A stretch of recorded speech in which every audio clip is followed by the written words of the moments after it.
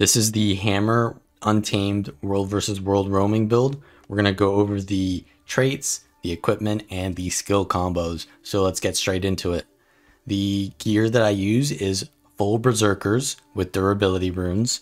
I have a Marauder hammer, but you should use Berserker. It's just what I had. And the reason for this is because whenever you're making a power build, you want to make sure that the vitality is around 20,000 is a pretty safe number and your crit chance wants to be around 80% while you have fury. So I'm only at 70% with fury. I'm kind of low, but through the traits, I've got Remorseless, which gives me opening strike whenever I gain fury and that gives me 100% crit on my next attack, which increases the average crit chance. So it's generally okay and because it gives me 100% crit chance on some of my attacks, and if I control that well and put those on the heavy hitting abilities, then I want those to hit as hard as possible. So full Berserker is the best there.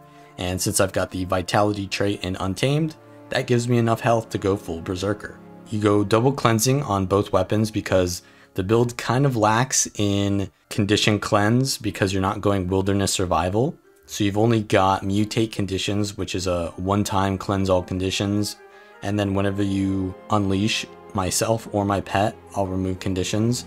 And then just the cleansing sigils. So it's kind of a build that's weak against conditions, though it is very good against power build because you've got a lot of weakness from the Clarion Bond whenever you swap pet. And whenever you use the unleashed pet ability enveloping haze, which gives a poison field. And if you use your leap, swoop through that, that'll give you a weakening leap attack. And if you use your hammer 5 through that, that's a blast, which would also give area weakness. So it's very good against those power builds. And then I go for celerity on the hammer because you have a lot of disables on the hammer. You've got the, while you are not unleashed, so while your pet is unleashed, your hammer 3 and your hammer 5 will CC, and those will give you the Celerity Sigil proc, which gives you quickness, which allows you to do your bursts a lot faster. And then for the traits, we've got Marksmanship, Beast Mastery, Untamed. In Marksmanship, you've got Clarion Bond, which is going to give you Fury, and whenever you gain Fury, you get those Remorseless procs, which gives your next attack 25% more damage. So you want to hit your Maul, you want to hit your Unleashed Hammer 2, Hammer 5, and those will give you a lot of damage with that Remorseless proc. So how do you get Fury? You get Fury from whenever you swap pets. You get Fury from disabling, and you get Fury from using mutate conditions while you are unleashed. And you also get Fury from landing your Hammer 5 while you're unleashed.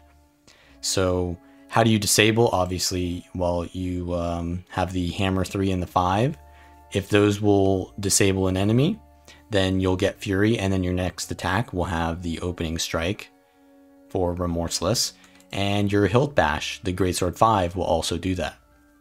So you want to be timing these Remorseless procs into your heavy hitting abilities like your Greatsword 2 and your Hammer 2. Those are your main damaging abilities because they're single hitting attacks.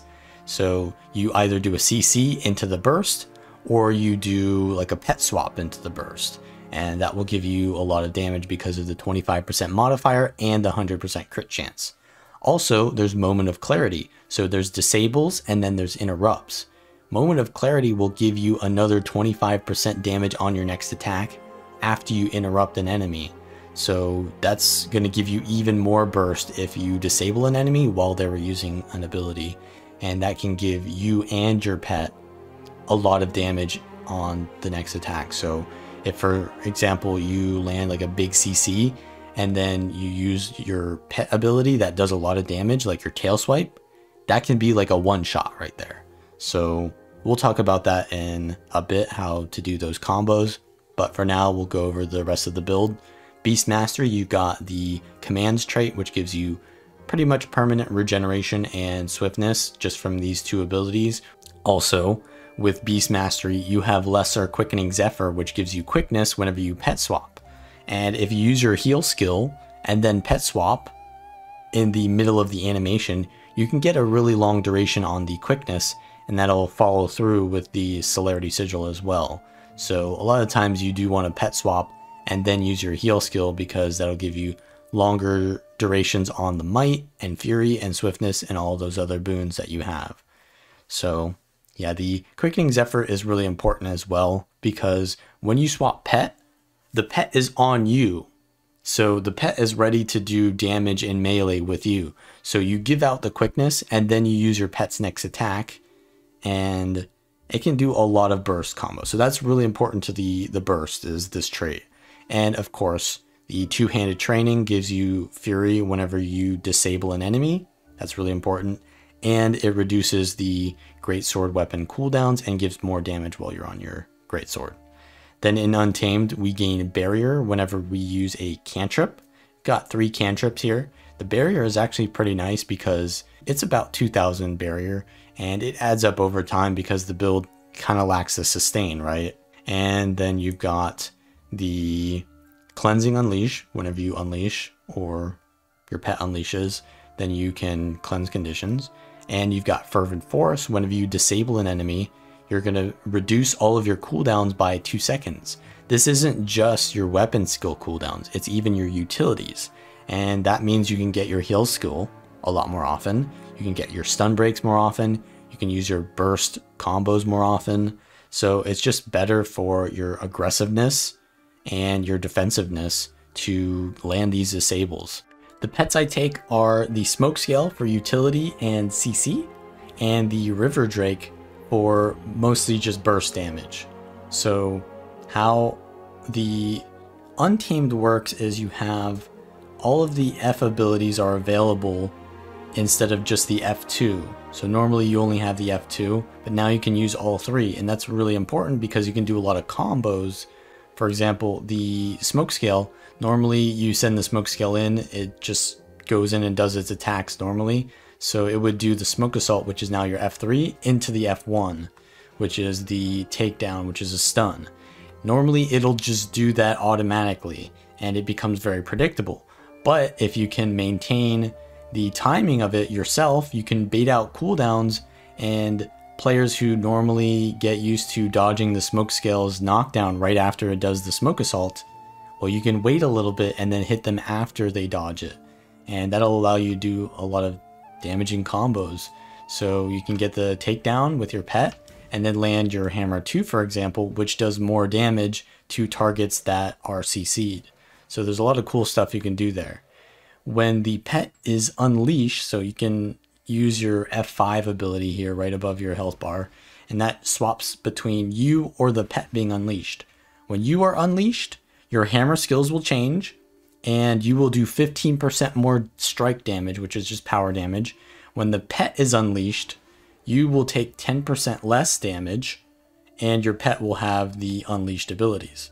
When the pet is unleashed, the F1 will port it into the target and there's essentially no animation on that. So what you can do with that is you can send your pet in with the F1 and then you can immediately unleash yourself and then do the pet's knockdown to reliably land that. So that's another way to land the takedown. Also, you have the F2 is Rending Vines, which will remove two boons from targets that are hit, and it's a combo finisher blast. This is really good for combining with the smoke scale is already F2 skill when you are unleashed, which will give a smoke field. So what you can do is you can use the F2 and then unleash it, then F2 again, and then you can blast that with your hammer and then leap through it with the great sword, and that's a lot of stealth up time to give you a little bit more disengage potential. Now also the F3 is enveloping haze, which is a combo field poison, and that will also give a projectile blocking field. So that's extremely powerful for engaging on enemies who have projectiles because you're a melee build and they usually get the advantage on you when they can start hitting you before you even get to them. So really powerful attack and it does a decent amount of damage. You can essentially start out with your pet going in, doing the F1, F2, F3 to remove some boons and projectile block. And then what you can do is you can unleash yourself and send in the F3 and then knock them down. From there, what you can do is go in with your hammer 5, which is the unleash Thump, which does a lot of damage, and it will give you Fury. So if I have Opening Strike right now, I can go in and use Unleashed Thump with the Opening Strike. That does a lot of damage, but now I have another Opening Strike because I just got Fury. So you can do two Opening Strikes in a row for a lot of damage. Then you've got access to other kinds of things that you can do. For example, if your pet doesn't land their immediate CC, then you can go in with just the non-unleashed thump, which is a knockdown, and then you can combine that with unnatural traversal, which is a no animation port to the target. So I can do this, and then I can immediately unleash myself, swap, and use the two skills on both my hammer and my greatsword, which will do a lot of damage to the target. And I can also swap my pet after that as well. So there's another layer to those combos because after you port to the target, right, you're going to be away from your pet. But if you swap pets, swapping pets puts the pet where you are. So if I port to the target and then I swap, essentially the pet has also ported to the target as well. So you can do insane combos with that. Now that leads us to the final combo, which you want to do with Hilt Bash. So essentially this is, you want to do this combo when the enemy is running away because Hilt Bash requires you to hit them from behind to stun them. Otherwise it'll just daze them. So usually I save this for when they're running away. So the entire combo is you usually want to be in smoke scale and then you're going to swap to your River Drake. And then what you'll do is you'll precast the Hilt Bash into Unnatural Traversal, immediately pet swap, and then use your Maul. Maul, by the way, gives your pet 25% extra damage on its next attack, and then you'll use your Tail Swipe on your, um, your River Drake. So it'll look like this. And you can see I just did 8,000 with the tail swipe there and a 7,000 with the maul. So that's pretty much your one shot there. Here's a bit of a situation where I engage on two enemies. I land my double maul combo with Hilt Bash into my Relentless Whirl. I've got the Enveloping Haze up as well, which prevents a lot of counter pressure. I land my Hammer 5 into the Hammer 2, but I get stunned and a banner, so I have to back off, but I have the warrior in my sights and I try to get the kill on them with the hammer 4 into the hammer 2. They dodge. I don't crit my maul, but I do see that they're really low, so I go in for the swoop. My pet knocks them down and I follow up with the hilt bash from behind to get a second maul. And they're down, but I'm taking way too much pressure from this Reaper. I put out my smoke field from the pet and I swoop backwards into it to get a stealth stomp, but I get stunned by the Reaper and I actually use the tail swipe there from my pet so that they get weakness and that means I won't take that much counter pressure from them. And I put the pet back on the body and I start cleaving with it and then I do the burst combo here, 10,000 maul because I've got the proc there, but the Mesmer respawns and I have to be careful because they're coming for me instead of the two down bodies. They want to get three kills here. So I am playing very safely. I could probably use my mutate conditions here just to get barrier, but the warrior banners, are they vengeance, and they're probably able to get the stomp on me, but they die due to timing out there. And I have to kite. I use the double hammer 5 with the unleash, and I regain some health here. Now the Reaper's really low, and I want to make sure that they die but I also have to be careful because I know that the Mesmer is not on their team. And after I kill the Reaper, yeah, they're gonna go they're going for me anyways before the Reaper dies. But I want the Reaper to die as well. I want to get all these kills. So I go in, I use the Maul into the Unnatural, into another Hilt Bash, and then I Savage Slash into the Hammer 2, and they're taken out, even though they were pretty beefy. Now, I try to just finish them off because I know that this uh, Mesmer is probably going to focus me, so I get them low enough that they can't self-res, keep my pet on them, and then I disengage. Here's another situation where I am playing with a, looks like a Renegade, and we get a down here. We're to cleave with our pet using all the F abilities to prevent any kind of like projectile cleave counter pressure but we're to go in for this next kill on the hollow. But yeah, they're a little bit too close to that dangerous positioning. So we're to back off and secure this kill here. I see that there's a ranger on me, so I'm to kite a little bit, see if my pet's cooldowns are up. They're not, but as soon as it is, I'm to be able to use the enveloping haze to prevent this projectile pressure on me. Now we get that kill secured, but my ally is really deep in there, so I'm to try to go in and help them. Try to get them out because I'm to need to fight with my allies to survive. They actually get one down, so I'm going to go in for maybe the Hammer 5 burst here. And I see, yeah, there's not a good target right now. I don't want to go in and die. So I see, yeah, maybe the Herald here or the uh, Renegade is good. And we get the down. And I'm going to go for the Stomp with stability. And we get that, but now I'm really pressured. I use my pet swap to get some quickness and super speed to get out of danger. And we're going to be chased down now by a lot of uh, Jade Quarry members here, but I turn around and do another burst on them because if they're just running straight at me, the chances that they're going to dodge my burst is less likely. So we get another down because they weren't expecting me to go back in and they do they're almost getting the res, but we have a lot of cleave here with the pet is going to do some cleave here as well as the renegade. But yeah, they've got a mesmer on me now and the counter pressure and CC is starting to overwhelm me and I'm pretty much out of out of cooldowns. So I go down. I'm looking for the rally here off of this Mesmer. We get it and I do a double hammer 5 to get out of danger and swap pet so I can get the quick swoop out of there. Now my ally is really close to dying. I'm going to give them a little bit of swiftness and regen here, but they're going to pretty much already have that. And now we are pretty much out of danger. Here's a 1v1 against a Vindicator, which is a very high sustain class. And I am a burst class, so the only way for me to win is to pressure them hard enough that they can't get their sustain off. So I need to land my CC combos very well and kill them before they're able to get off a lot of their healing and I run out of cooldowns. So we're going for a very aggressive strategy in other words.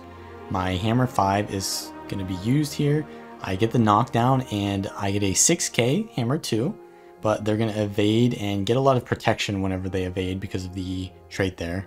I get stunned, but I mutate those conditions, and I need to keep landing damage constantly or, you know, they're going to resustain harder than me. So I send my pet in soon. I ran out of my blocks counterattack there. The pet's to go for the knockdown now. They get it, and I have a lot of weakness on me, so that's kind of unfortunate that I can't really do any damage. So I've got a lot of uh, vulnerability on me too, and I get the knockdown and a 7k hammer 2 into my Relentless Whirl, which gives me a little bit of uh, lifesteal to keep sustaining and getting this kill, but I use my burst too early there, and it was into their block. So you can see there's mistakes being made here in my burst, if I were cleaner on my bursts and landed my cooldowns a little bit more effectively, I'd probably be able to get the kill, but because I messed up my combo, they're able to survive longer and I don't get the kill. But if you like this content, then like the video, subscribe for more, and I will see you all next time.